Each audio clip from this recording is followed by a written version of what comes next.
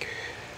Corona ভাইরাসের সংক্রমণ নিয়ন্ত্রণে আজ থেকে একুশ দিনের জন্য লকডাউন হয়েছে রাজধানীর রেড জোন এলাকা, ওয়ারি। ভোর থেকেই সরকারি সিদ্ধান্ত বাস্তবায়নে নির্ধারিত সব রাস্তা বন্ধ করা হয়েছে, সীমিত করা হয়েছে মানুষ চলাচল। লকডাউন চলাকালীন সময়ে কেউ ওয়ারিতে প্রবেশ ও বের হতে পারবেন না। এলাকায় শুধু ঔষধের দোকান খোলা রাখার নির্দেশ দেওয়া হয়েছে। লকডাউনে থাকা এলাকাবাসীকে সহায়তা করতে শতাধিক স্বেচ্ছাসেবী কাজ শুরু করেছে। সার্বিক পরিস্থিতি নজরদারিতে পর্যাপ্ত সংখ্যক পুলিশ সদস্য মোতায়েন করা হয়েছে।